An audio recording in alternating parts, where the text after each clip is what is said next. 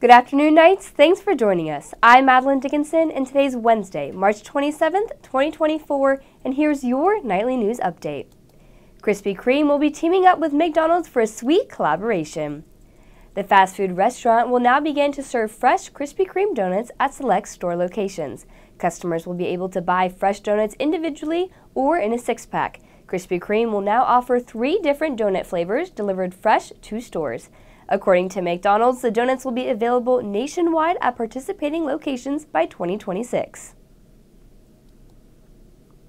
The RWC now includes brand new equipment on the lower floor.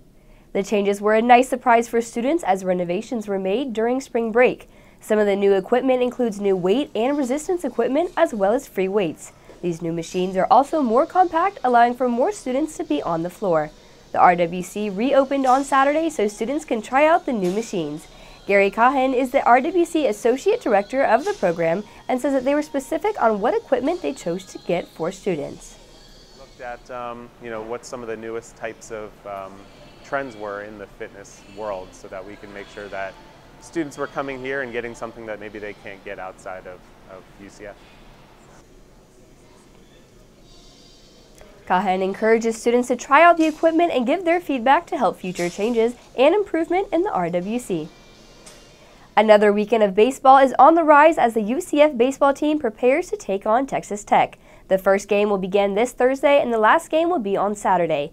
Last night, the Knights had a great win against Jacksonville with the final score of 6 to 0. Now let's take a look at today's weather's forecast. Today is a high 86 degrees with mostly cloudy skies and a 20% chance of rain. Tonight the low is 71 degrees with a 0% chance of rain. Tomorrow's high is 77 degrees with cloudy skies and a 50% chance of rain. Much warmer than previous days, but you might want to hold on to that umbrella.